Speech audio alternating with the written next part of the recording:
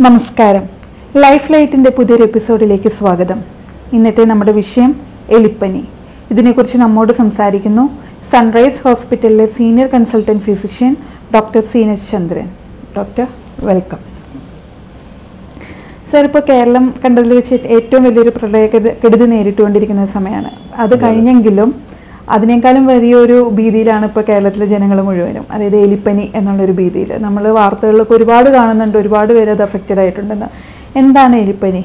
ചോദ്യം വളരെ പ്രസക്തമാണ് ഇപ്പോഴത്തെ സാഹചര്യത്തിൽ അപ്പോൾ നമ്മളൊരു വലിയ പ്രളയത്തിൽ കൂടെ കടന്നുപോയി അതിനുശേഷം ലെപ്റ്റോസ്പൈറോസിസ് നമുക്ക് റിപ്പോർട്ട് ചെയ്യുന്നുണ്ട്. പക്ഷേ ഒരു കാര്യം നമ്മൾ മനസ്സിലാക്കാനുള്ളത് എല്ലാ വർഷവും അല്ലെങ്കിൽ എല്ലാ സമയത്തും നമുക്ക് ഈ അസുഖം ഉണ്ടെന്നുള്ളതാണ്. അപ്പോൾ നമ്മൾ ഇപ്പോഴും അതിനെക്കുറിച്ച് കൂടുതൽ ബോധേഡായത് ഒത്തിരി പേർക്ക് ഇത് പ്രശ്നം വരികയും നമ്മൾ ഒത്തിരി ബോധവൽക്കരണം വന്നുകൊണ്ടാണ്. അപ്പം കഴിഞ്ഞ പ്രാവശ്യത്തെ സ്റ്റാറ്റിസ്റ്റിക്സും ഇപ്രാവശ്യത്തെ സ്റ്റാറ്റിസ്റ്റിക്സ് എടുത്ത് നോക്കിക്കഴിഞ്ഞാൽ ഭയങ്കരമായിട്ടുള്ളൊരു കുതിച്ചുചാട്ടം ലെപ്റ്റോസ്പൈറോസിന്റെ കണക്കുകളിലൊന്നും വന്നിട്ടില്ല. കാരണം എല്ലാ വർഷവും ലെപ്റ്റോസ്പൈറോസിസ് നമുക്കുണ്ട്. എലിപ്പനി നമുക്കുണ്ട്. എല്ലാ വർഷവും നമുക്ക് അതുകൊണ്ടുള്ള നമുക്ക് ലോസ് വരുന്നുണ്ട്. ആൾക്കാർ മരിച്ചിട്ടുണ്ട് മരിക്കുന്നുണ്ട് പ്രശ്നങ്ങൾ വരുന്നുണ്ട്. പക്ഷേ ഇപ്രാവശ്യം അത് കുറച്ച് കൂടുതലായിട്ട് പബ്ലിക് ലൈറ്റിൽ വന്നു എന്നുള്ളത് മാത്രമേ ഉള്ളൂ. അപ്പോൾ അതുകൊണ്ടാണ് അതിനെക്കുറിച്ചുള്ള ബോധവൽക്കരണം കൂടി. അപ്പോൾ അങ്ങനെയുള്ള കാര്യങ്ങൾ അത് പെട്ടെന്ന് ഒന്ന് ലൈം ലൈറ്റിലോട്ട് വന്നു എന്നുള്ളതാണ് സത്യം. അപ്പോൾ ലെപ്റ്റോസ്പൈറോസിസ് ശരിക്കും ഒരു സൂണോട്ടിക് ഡിസോർഡറാണ് സൂണോട്ടിക് ഡിസോർഡർ എന്ന് പറഞ്ഞു കഴിഞ്ഞാൽ മൃഗങ്ങളിൽ നിന്ന് മനുഷ്യനിലോട്ട് വരുന്ന അസുഖങ്ങളെയാണ് നമ്മൾ സൂണോട്ടിക് ഡിസീസ് എന്ന് പറയാം. അപ്പോൾ കുറേ സൂണോട്ടിക് ഡിസീസസ് വേറെയും ഉണ്ട്. അപ്പോൾ ഈ ഇപ്പം നമുക്കിപ്പോൾ അടുത്ത കാലത്ത് നമുക്ക് കടന്നു പോയി കഴിഞ്ഞാൽ നിപ്പ വൈറസ് ഉൾപ്പെടെയുള്ള സാധനങ്ങൾ ഇതേ ഓൾ സൂണോട്ടിക് ഡിസീസസ് ചില മൃഗങ്ങളില്ല മൃഗങ്ങളെ വെക്ടർ എന്ന് പറയാം. അപ്പോൾ ഈ വെക്ടർ ഇല്ലാണ്ട് നമുക്ക് ഇതിനെ ജീവിക്കാൻ പറ്റത്തില്ല. അപ്പോൾ ഇതൊരു ബാക്ടീരിയയോ വൈറസോ ഒന്നുമില്ല ഇതൊരു സ്പൈറോക്കീറ്റ് എന്ന് പറയുന്ന വിഭാഗത്തിൽപ്പെടുന്ന ഒരു അണുക്കളാണ് ഇതിനകത്തുള്ളത്. അപ്പോൾ ഈ അണുക്കൾ നമ്മുടെ ശരീരത്തിൽ വരുമ്പോൾ ഉണ്ടാകുന്ന പ്രതിപ്രവർത്തനത്തിന്റെ ഭാഗമായിട്ട് നമുക്ക് ഉണ്ടാകുന്ന പ്രശ്നങ്ങളെല്ലാം കൂടെ ചേർത്തിട്ടാണ് നമ്മൾ വിശാലമായിട്ട് എലിപ്പനി എന്ന് പറയും എലിപ്പനി ഉണ്ടാക്കുന്ന പലതരത്തിലുള്ള സ്പെറോക്കീറ്റ്സ് ഉണ്ട്. അതിനകത്ത് തന്നെ പല ടൈപ്പ് ഓഫ് വേരിയൻസ് ഉണ്ട്. കേരളത്തിന് മാത്രമായിട്ടുള്ള ചില വേരിയൻസ് വരെ ഐസൊലേറ്റ് ചെയ്തിട്ടുണ്ട്. അപ്പോൾ ലെപ്റ്റോസ്പെറോസിസ് അല്ലെങ്കിൽ എലിപ്പനി നമ്മൾ ശ്രദ്ധിച്ച് തന്നെ നോക്കേണ്ട പനികളിൽ ഒരെണ്ണമാണ്. ഓക്കെ. ഈ എലിപ്പനി എന്ന് പേര് വന്നെങ്കിലും പക്ഷെ അത് പകരുന്നത് എങ്ങനെയാണ്? നമ്മൾ എലിയായിട്ട് ഡയറക്റ്റ് കോണ്ടാക്ട് വരണമെന്ന് നിർബന്ധമില്ല. പക്ഷെ. എങ്ങനെയാണ് ഇത് പകരുന്നത്? ഞാനൊരു ഉദാഹരണം പറയാം. അപ്പം താങ്കൾ ഒന്ന് കാറ് കഴുകിക്കൊണ്ടിരിക്കുമായിരുന്നു എന്ന് വിചാരിക്കും. അപ്പോൾ കാറ് കഴുകി കാറെല്ലാം വാഷ് ചെയ്തു. അത് കഴിഞ്ഞിട്ട് കുറച്ച് വെള്ളം അവിടെ കെട്ടിക്കിടപ്പുണ്ടായിരുന്നു. ഓക്കെ എന്ന് വയ്ക്കാം ഇപ്പം രാത്രി ഒരു എലി അല്ലെങ്കിൽ കുറച്ച് നേരം കഴിഞ്ഞിട്ട് ഒരു എലി വീഴുമ്പോഴത്തേക്ക് എലി അതിനകത്ത് മൂത്രമൊഴിച്ചു. അപ്പം അപ്പോൾ എലിയുടെ ശരീരത്തിൽ നിന്ന് ഈ സ്പൈറോക്കേറ്റ് നമ്മുടെ ഫ്രണ്ട് കാറിന്റെ വെളിയിൽ കെട്ടിക്കിടന്ന ഈ വെള്ളത്തിൽ വന്നു. നമ്മുടെ ശരീരത്തിലും അപ്പോഴൊക്കെ നമുക്ക് മൈക്രോസ്കോപ്പിക് ആയിട്ടുള്ള കട്ട്സ് ഒക്കെ നമ്മുടെ കയ്യിലും കാലിലും ഒക്കെ എപ്പോഴും ഉണ്ടാകാം. അപ്പോൾ നമുക്ക് ചെറിയൊരു ഇഞ്ചുറി ഉണ്ടായിരുന്നു വിചാരിച്ചു. പിറ്റേ ദിവസം നമ്മൾ കാറൊക്കെ എടുത്തു രാവിലെ പോകാനായിട്ട് തുടങ്ങുകയാണ്. സോ ഈ സ്റ്റെപ്പിന്റെ നമ്മൾ വെള്ളത്തിലോട്ട് സ്റ്റെപ്പ് ഇൻ ചെയ്തു. അപ്പോൾ എന്നാലും കാൽ പിന്നെ വൃത്തിയാക്കി പോയി. പക്ഷേ നമ്മുടെ എക്സ്പോഷർ എന്ന് പറയുന്നത് വളരെ കുറച്ച് സമയമാണ്. പക്ഷേ ഇത് മതി. നമുക്ക് ഈ സംഗതി നമ്മുടെ ശരീരത്തിലോട്ട് കയറി കിട്ടാൻ. ഞാൻ ആ ഒരു ഉദാഹരണം പറയാൻ ഉദ്ദേശിച്ചത്. നമ്മളാരും വിചാരിക്കുന്നത് പോലെ ഇത്രയും വലിയൊരു എക്സ്പോഷർ ഉണ്ടായാൽ അല്ലെങ്കിൽ വെള്ളത്തിൽ മുങ്ങി നിന്നാലേ വെള്ളത്തിൽ കാൽ വെച്ച് ഒത്തിരി സമയം നിന്നാൽ ഇങ്ങനെ സംഭവിക്കുള്ളൂ എന്നുള്ള തോന്നലൊന്നും നമുക്ക് വേണ്ട. It is possible for even for small things like this to have leptospirosis അപ്പോൾ അങ്ങനെയുള്ള സിറ്റുവേഷനിൽ വരെ ഇത് വരാം. പിന്നെ ഇത് പൈനാപ്പിൾ മേഖലയിലാണ് ഇത് ഏറ്റവും കൂടുതൽ ആദ്യം കണ്ടുപിടിച്ചിരുന്ന ഈ അസുഖം. ഈ അസുഖത്തിന്റെ പ്രോബ്ലം എന്നു പറഞ്ഞാൽ എപ്പോഴും ഈ പൈനാപ്പിൾ ഈ റോഡൻസിന് ഭയങ്കര ഇഷ്ടമുള്ള സാധനമാണ്. ഈ പൈനാപ്പിൾ തിന്നാനായിട്ട് എലിയെല്ലാം വരും. അപ്പോൾ ഇതെല്ലാം പൈനാപ്പിൾ തിന്നതിന് ശേഷം ഇത് അവിടെ എവിടെയൊക്കെ കെട്ടിക്കിടക്കുന്ന വെള്ളത്തിലല്ലേ ഇത് മൂത്രമൊഴിക്കുകയും എല്ലാം ചെയ്യും. എക്സ്ക്രീറ്ററി ഉണ്ട്. അപ്പോൾ ഇത് കഴിഞ്ഞ ശേഷം പിറ്റേ ദിവസം ഈ പൈനാപ്പിൾ കർഷകർ വന്നിട്ട് അവർ പൈനാപ്പിൾ കട്ട് ചെയ്യാൻ അതും ഇതും വരുമ്പോഴത്തേക്കും പൈനാപ്പിളിന് ഒത്തിരി മുള്ളുകളുണ്ടെന്ന് നമുക്കറിയില്ല. അത് ദാറ്റ് മേക്സ് മൈന്യൂട്ട് കട്ട്സ് ഉണ്ടാക്കും അവിടെ ഇവിടെയൊക്കെ. അപ്പോൾ ഇതിനകത്തൂടെയാണ് ഇതിങ്ങനെ. അതുകൊണ്ടാണ് ഈ വാഴക്കുളം പൈനാപ്പിൾ ബെൽറ്റിലൊക്കെ ഒത്തിരി ഈ ലെപ്റ്റോസ്പൈറോസിസ് മുമ്പൊക്കെ നമുക്ക് റിപ്പോർട്ട് ചെയ്യുമായിരുന്നു. അപ്പോൾ കോഴഞ്ചേരിയിലൊക്കെ ഒത്തിരി റിസർച്ചും അങ്ങനെ പുതിയ സ്ട്രെയിൻസ് ഒക്കെ ലെപ്റ്റോസ്പൈറൊക്കെ ഉണ്ടെന്നുള്ള കാര്യം ഇന്ത്യയിലൊക്കെ ഉള്ള ഒരുപാട് റിസർച്ച് പേപ്പേഴ്സൊക്കെ വന്നിട്ടുള്ള ഒരു ഫീൽഡാണ് അപ്പോൾ ഇതിനകത്ത് നമ്മുടെ ഇൻട്രസ്റ്റ് എന്ന് പറയുന്നത് ഒരാളിന് പനി വരുമ്പോൾ അപ്രോച്ച് ടു ഫീവർ എന്നുള്ളതാണ്. ഇപ്പം എനിക്ക് തോന്നുന്നില്ല നമുക്ക് ഒരാളിന് രാവിലെ ഒരു ദിവസം പനി വന്നു കഴിഞ്ഞാൽ പിറ്റേ ദിവസം തന്നെ അല്ലെങ്കിൽ അന്ന് വൈകിട്ട് തന്നെ പോയി ലെപ്റ്റോസ്പൈറോടെ ടെസ്റ്റ് ചെയ്യണമെന്ന് എനിക്ക് തോന്നുന്നില്ല. അപ്പം നമ്മളൊരു പാനിക് ബട്ടൺ അമർത്തേണ്ട ഒരു ആവശ്യമൊന്നും ഇതിനകത്തില്ല. അപ്പം നമുക്ക് ഒരാളിന് ഒരു ഫീവർ വന്നു. നമ്മൾ സാധാരണ രീതിയിൽ എന്താ ചെയ്യുന്നത് വീട്ടിൽ ചെന്ന് നമ്മളൊന്ന് ഒരു പാരസെറ്റമോളിന്റെ മരുന്ന് കഴിക്കാം. ചിലപ്പോൾ അല്ലെങ്കിൽ ഒന്ന് ഇന്ന് കുറച്ച് നേരം ഒന്ന് തുടയ്ക്കാം. ഇതൊക്കെയാണ് ചെയ്യുന്നത് എന്നിട്ട് അത് കഴിഞ്ഞിട്ട് നമ്മൾ നമ്മുടെ ഫാമിലി ഫിസിഷ്യന്റെ അടുത്ത് തൊട്ടടുത്തുള്ള ഡോക്ടറെ അടുത്ത് പോകും. എന്നിട്ട് ഡോക്ടറും സാധാരണ രീതിയിൽ ഒരു ദിവസത്തെ ഫീവറിനൊന്നും തൽക്കാലം അങ്ങനെയുള്ള ടെസ്റ്റുകൾ അഡ്വൈസ് ചെയ്യാറില്ല. ഒരു വൺ ഓർ ടു ഡേയ്സ് കഴിഞ്ഞിട്ട് ശക്തിയായ പനി മേലുവേദന ഹെഡ് ഏക്ക് മസിൽ പെയിൻ ഇങ്ങനെയുള്ള സംഗതികളൊക്കെ വരുമ്പോഴത്തേക്കുമാണ് ഡോക്ടേഴ്സ് സാധാരണ രീതിയിൽ ഈ ഉള്ള ടെസ്റ്റുകളൊക്കെ ചെയ്ത് നോക്കി. അപ്പോൾ ചില സൂചനകൾ നമുക്ക് കിട്ടും. അതിനനുസരിച്ചിട്ട് കൺഫർമേറ്റീവ് ആയിട്ടുള്ള ചില ടെസ്റ്റുകളൊക്കെ ചെയ്യാറുണ്ട്. അപ്പോൾ ഇതിനെയാണ് നമ്മുടെ അപ്രോച്ച് ടു ഫീവർ വളരെ ഇമ്പോർട്ടന്റ് ആണെന്ന് വെച്ചാൽ പക്ഷേ ഇതൊക്കെ ഞാൻ പറഞ്ഞുവെങ്കിലും പല ആൾക്കാരും ചെയ്യുന്ന ഒരു കാര്യം എന്ന് പറഞ്ഞാൽ സെൽഫായിട്ട് അങ്ങ് ചികിത്സിക്കുക എന്നുള്ളതാണ്. അപ്പോൾ നമ്മൾ ആദ്യമേ തന്നെ ഒരു രണ്ട് മൂന്ന് ദിവസം പാരസെറ്റമോളൊക്കെ കഴിക്കും. അത് കഴിഞ്ഞ് നമ്മുടേതായിട്ടുള്ള ചില ആന്റിബയോട്ടിക്സും മരുന്നുകളൊക്കെ രണ്ട് ദിവസം ചെല്ലും. അപ്പോൾ നമുക്കൊരു നാലഞ്ച് ദിവസം അങ്ങോട്ട് കഴിഞ്ഞു. പിന്നെയാണ് നമ്മൾ ഹോസ്പിറ്റലിൽ വരുന്നത്. അപ്പോഴത്തേക്കുമാണ് നമ്മളിത് ലേറ്റ് ഡയഗ്നോസിസ് ആണ് ലെപ്റ്റോസ്പൈറോസിന്റെ കാര്യത്തിലുള്ള ഏറ്റവും ഡിഫിക്കൽട്ടായിട്ടുള്ള ഒരു പ്രശ്നം. ലെപ്റ്റോസ്പൈറോയുടെ പ്രശ്നങ്ങൾ തുടങ്ങിക്കഴിഞ്ഞാലാണ് അത് തീർത്താൻ പാട്. ശരിക്കും ആദ്യത്തെ ദിവസങ്ങളിൽ വളരെ സിമ്പിളായിട്ടുള്ള മരുന്നുകൾ വൈകൂടെ കഴിച്ച് അവസാനിപ്പിക്കേണ്ട ഒരു കാര്യം നമ്മുടെ ശ്രദ്ധക്കുറവ് കൊണ്ടും ഒക്കെ വരുന്നതാണ് ഇത്രയും ഭീകരമായിട്ടുള്ള അവസ്ഥയിലോട്ട് വരുന്നത്. അപ്പോൾ എലിപ്പനിയെ നമ്മൾ പേടിക്കേണ്ട ആവശ്യമൊന്നുമില്ല. എലിപ്പനി ഒരു പ്രിവെന്റബിൾ ആയിട്ടുള്ള ഒരു ഫീവറാണ് അത് നമുക്ക് എപ്പോഴെങ്കിലും ഔട്ട് ഓഫ് ഹാൻഡ് ആയിട്ട് പോയിട്ടുണ്ടെങ്കിൽ അതിന്റെ അർത്ഥം എന്ന് പറഞ്ഞാൽ നമ്മൾ കാണിക്കേണ്ട ജാഗ്രത അതിനകത്ത് കാണിച്ചിട്ടില്ല എന്നുള്ളതാണ്. അപ്പോൾ എപ്പോഴും ഈ സെൽഫായിട്ടുള്ള ചികിത്സകളുടെ കാര്യത്തിൽ വരുന്ന ഒരു പ്രശ്നം എന്ന് പറഞ്ഞാൽ ഒരു ഫീവർ ഒരു ദിവസം അല്ലെങ്കിൽ രണ്ട് ദിവസം കഴിഞ്ഞ് മാറിയിട്ടില്ലെങ്കിൽ ദയവായി നിങ്ങളുടെ ഹെൽത്ത് കെയർ പ്രൊവൈഡറിനെ നിങ്ങൾ കാണണം. അപ്പോൾ അദ്ദേഹത്തിന്റെതായിട്ടുള്ള ഒരു ഒരു മെഡിസിൻ ആപ്ലിക്കേഷൻ അല്ലെങ്കിൽ ഒരു ഒരു ഭിഷകോറിന്റെ ഒരു ചിന്തയുടെ ആവശ്യം അങ്ങനെയുള്ള പനികളിലുണ്ട്. അതനുസരിച്ചിട്ട് മാത്രമാണ് നമുക്ക് ഇതിനെ ഡയഗ്നോസ് ചെയ്യാൻ പറ്റുള്ളൂ. ഈ ഇപ്പോൾ ഇങ്ങനെയുള്ള ഇപ്പോൾ എലി മൂത്രമൊഴിച്ച വെള്ളത്തിൽ എക്സ്പോഷർ വരുന്നതാണല്ലോ ഒരു പക്ഷേ എലിപ്പനി വരാനുള്ള. പക്ഷെ എല്ലാവർക്കും അങ്ങനെ വരണമെന്ന് നിർബന്ധമില്ല. ഇത് പ്രതിരോധ ശേഷിയുമായിട്ട് എന്തെങ്കിലും human to human transmission of leptospirosis ഇല്ല. ഓക്കെ. ഓക്കെ അതായത് ഒരാളിന് ഇപ്പം നമ്മുടെ വീട്ടിൽ എലിപ്പനി പിടിച്ച ഒരാളുണ്ട്. അയാളുടെ നിന്ന് നമുക്ക് എലിപ്പനി വരത്തില്ല. അപ്പോൾ അത് നമ്മൾ ക്ലിയർ ആയിട്ട് മനസ്സിലാക്കേണ്ട കാര്യമാണ്. ഇതിന്റെ ഇടയിൽ ഈ റോഡന്റ് എന്ന് പറയുന്ന എലി എന്ന് പറയുന്ന ഹീറോ ഇതിനകത്ത് ഇല്ലെങ്കിൽ ഇതിനകത്തൊന്നും സംഭവിക്കാൻ പോകുന്നില്ല. അപ്പോൾ റോഡൻസ് ഇല്ലാണ്ട് നമുക്ക് സാധാരണ രീതിയിൽ ഈ പറഞ്ഞ കാര്യം വരത്തില്ല. അപ്പം അങ്ങനെ ഒരു കാര്യത്തിനെ കുറിച്ച് നമ്മൾ പേടിക്കാൻ വേണ്ട. അപ്പം നമ്മൾ മനസ്സിലാക്കാനുള്ള ഒരു കാര്യം എന്ന് പറഞ്ഞാൽ ഇപ്പം നമുക്ക് ഒരാളിന് ഒരു ശക്തിയായ പനി ബോഡി പെയിൻ തലവേദന വൊമിറ്റിംഗ് സെൻസേഷൻ അബ്ഡമിനൽ ക്രാംസ് ഇങ്ങനെയുള്ള കാര്യങ്ങളൊക്കെ വരുമ്പോൾ നമ്മൾ സാധാരണ രീതിയിൽ ആലോചിക്കുന്ന ഒരുപാട് ടൈപ്പ് ഓഫ് ഫീവേഴ്സ് ഉണ്ട്. പക്ഷേ ഇതിന്റെ എല്ലാത്തിന്റെ രോഗലക്ഷണങ്ങളും ഒരുപോലാണ്. അപ്പോൾ ഇത് കണ്ടുപിടിക്കാനോ ഇതിനെക്കുറിച്ച് ആലോചിക്കാനോ ഉള്ള സാധ്യതയും വളരെ കുറവാണ്. ഇപ്പം നമ്മളിപ്പോൾ നല്ല തന്നെ നമുക്കൊരു വൈറൽ പനിയാകാം ഒരു ടൈഫോയിഡ് ഫീവർ ആവാം മലേറിയ ആവാം എലിപ്പനി ആവാം ഇതൊന്നും ഇല്ലാത്ത സാധാരണ സിമ്പിൾ ഫീവറും ആവാം. അല്ല- അല്ലെങ്കിൽ അക്യൂട്ട് ഫെബ്രൈൽ ഇൽനസ് എന്ന് നമ്മൾ പറയുന്ന പനിയാവാം. പക്ഷേ ഈ പറയുന്ന സാധനങ്ങൾ എങ്ങനെയാണ് നമ്മൾ ഡിഫറൻഷിയേറ്റ് ചെയ്യുക? ആ ഒരു സാഹചര്യത്തിലാണ് നമ്മൾ അതിനെക്കുറിച്ച് ഡീറ്റെയിൽ രണ്ട് മൂന്ന് ദിവസത്തെ പനി നമുക്കുണ്ട്. പനി വരുമ്പോഴത്തേക്കും നമ്മുടെ ശരീരത്തിലെ പ്ലേറ്റ്ലെറ്റിന്റെ അളവ് എത്രയാണ്? നമ്മുടെ ടോട്ടൽ കൗണ്ട്സ് എത്രയാണ്? നമ്മുടെ മസിൽ ലോസ് വരുന്ന നമുക്ക് സി പി കെ എന്ന് പറഞ്ഞിട്ട് ടെസ്റ്റ് ഉണ്ട്. മസിലിന് വരുന്ന സി പി കെ ലെവൽസ് എത്രയാണ്? അപ്പോൾ ഇതൊക്കെ വളരെ കൃത്യമായ രോഗനിർണയം ആണ് ഇതിനകത്ത്. ഇതിന്റെ ചികിത്സയെക്കാളും ഇമ്പോർട്ടന്റും ഡിഫിക്കൽട്ടും രോഗനിർണയമാണ്. ഓക്കെ എന്തൊക്കെയാണ് ഈ പനിയിൽ നിന്ന് മാറി നിന്നിട്ടുള്ള ഇതിന്റെ ലക്ഷണങ്ങൾ എന്ന് പറഞ്ഞിട്ടുണ്ടെങ്കിൽ? ഈ ലെപ്റ്റോസ്പൈറോസിസ് നമുക്ക് സാധാരണ രീതിയിൽ മൂന്ന് ഓർഗൻസിനെ കൃത്യമായിട്ട് ഇത് ബാധിക്കാം. ഒന്ന് നമ്മുടെ ലിവറാണ് ഹെപ്പറ്റൈറ്റിസ്. രണ്ടാമത്തെ സംഗതി നമ്മുടെ ഹാർട്ടാണ് കാർഡൈറ്റിസ്. മൂന്നാമത്തെ സംഗതി നമ്മുടെ കിഡ്നീസ് ആണ് നെഫ്രൈറ്റിസ്. അപ്പോൾ ഇത് മൂന്നും ഇത് മൂന്നും നമുക്ക് വളരെ അത്യാവശ്യമുള്ള സാധനങ്ങളാണെന്ന് ഞാൻ പറയാതെ തന്നെ അറിയാമല്ലോ അപ്പോൾ ഇതിനകത്ത് ഒരെണ്ണത്തിനകത്ത് പ്രശ്നം വന്നു കഴിഞ്ഞാൽ നമുക്ക് പ്രശ്നങ്ങൾ വന്നുകൊണ്ടിരിക്കും.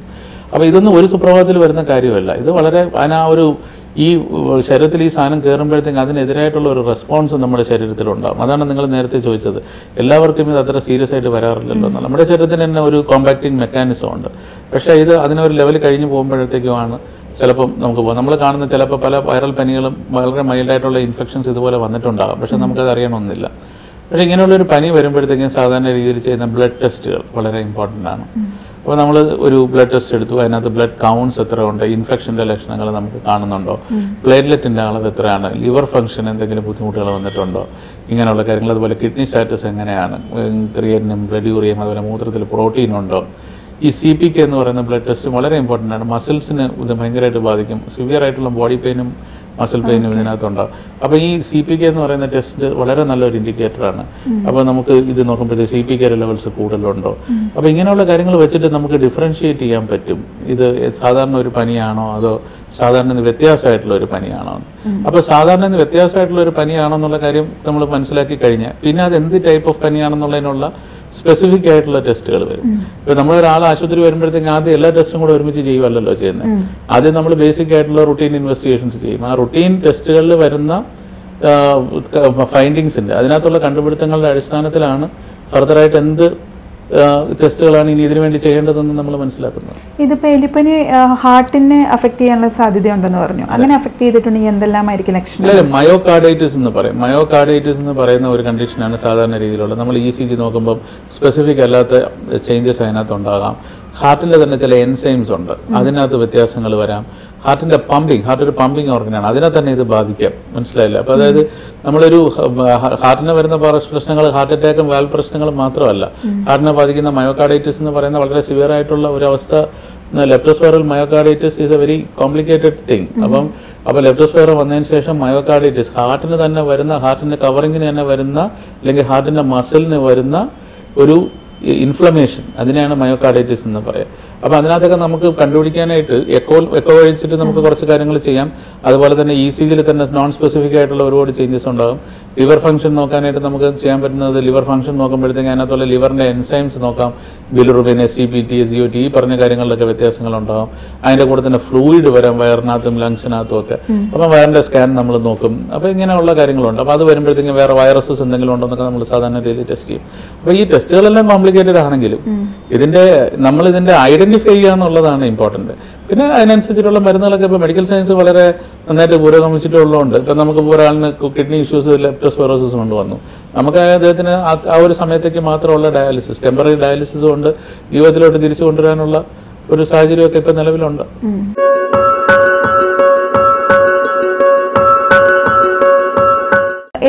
ബാധിച്ച് മരിച്ചവരുടെ എണ്ണം പത്ത് ഇരുന്ന് ഇരുപത് ഇരുപത്തഞ്ചിലോട്ടൊക്കെ എത്തിയിട്ടുണ്ട്.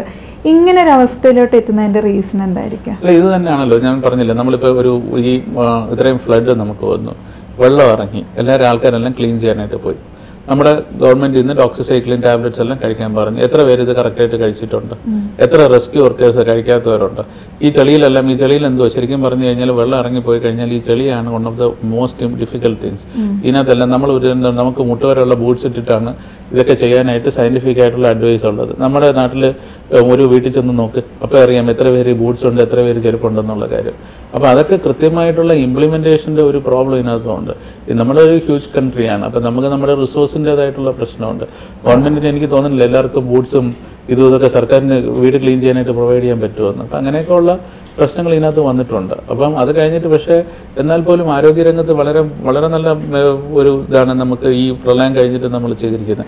ഒരു സിവിയർ ആയിട്ടുള്ള ഒരു എപ്പിഡമിക് ഇല്ലാതെ തന്നെ നമ്മൾ അതിനെ മാനേജ് ചെയ്തിട്ടുണ്ടെന്നുള്ളതാണ് സത്യം.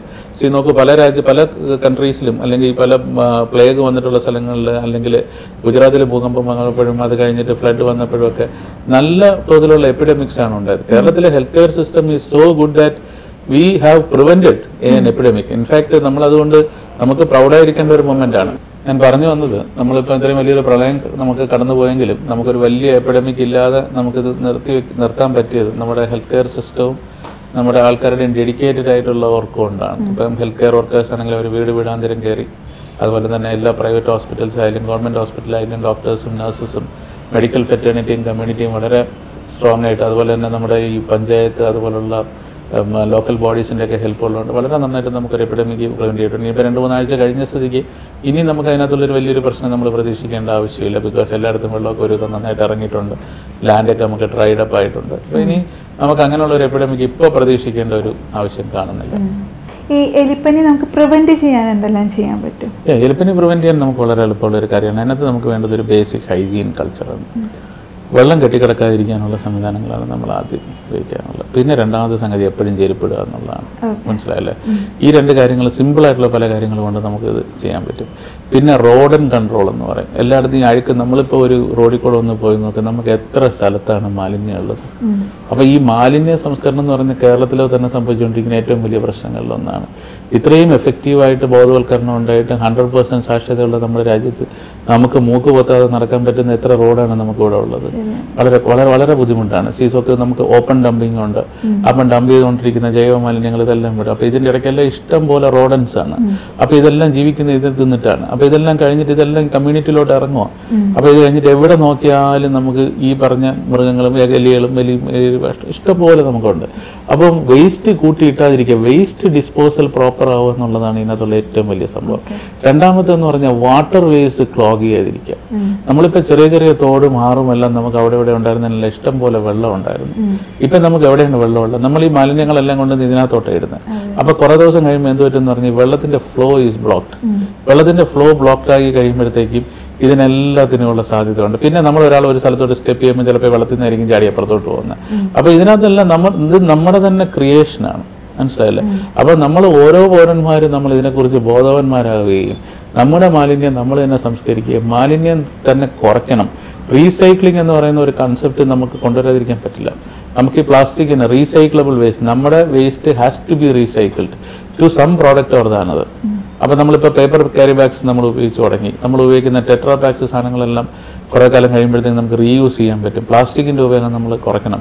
നമ്മൾ ഈ ഫ്ലെക്സിന്റെ ഉപയോഗം കുറച്ചാൽ തന്നെ ഒരളവ് വരെ ഇത് കുറയ്ക്കാൻ പറ്റും. റിപ്പീറ്റഡ് ആയിട്ട് ഉപയോഗിക്കാൻ പറ്റുന്ന ഒരു സംഭവമല്ലല്ലോ അപ്പോൾ ഇങ്ങനെയുള്ള കാര്യങ്ങൾ വരുമ്പോഴത്തേക്കും പേഴ്സണൽ ഹൈജീൻ ഈ മാലിന്യ സംസ്കരണം അതുപോലെ തന്നെ വെള്ളം കെട്ടിക്കിടക്കാനുള്ള സാഹചര്യം നമ്മൾ ഒഴിവാക്കിയിരിക്കും. വെള്ളത്തിന്റെ ഫ്ലോ നമ്മൾ ഒബ്സ്ട്രക്ട് ചെയ്യാതിരിക്കുക. കെട്ടിക്കിടക്കുന്ന വെള്ളത്തിൽ മാത്രമേ ഇഷ്യൂസ് ഉണ്ടാകത്തുള്ളൂ ബാക്കിയുള്ള കാര്യങ്ങൾ ഉണ്ടാകത്തില്ല. ഈ സിമ്പിൾ ആയിട്ടുള്ള കാര്യങ്ങൾ നമ്മൾ ഓരോരുത്തരും ടേക്ക് കെയർ ചെയ്ത് കഴിഞ്ഞാൽ ഐ എം ഷുവർ ദ എലിപ്പനി പോലത്തെ അസുഖങ്ങളെ നമുക്ക് വളരെ നല്ല രീതിയിൽ നിയന്ത്രിക്കാൻ പറ്റും. ഈ എലിപ്പനി വന്നവർ നിർബന്ധമായി ഹോസ്പിറ്റലിൽ അഡ്മിറ്റ് ആയിട്ട് ചികിത്സ എടുക്കണമെന്നുണ്ടോ? സി അത് നമുക്ക് ഒരു മോണിറ്ററിംഗ് സിസ്റ്റം ഇതിനകത്ത് അത്യാവശ്യമാണ്. ഒരാളുടെ പ്ലേറ്റ്ലെറ്റ് രാവിലെ രണ്ട് ലക്ഷം ഉണ്ടായിരുന്നെന്ന് വിചാരിക്കാം.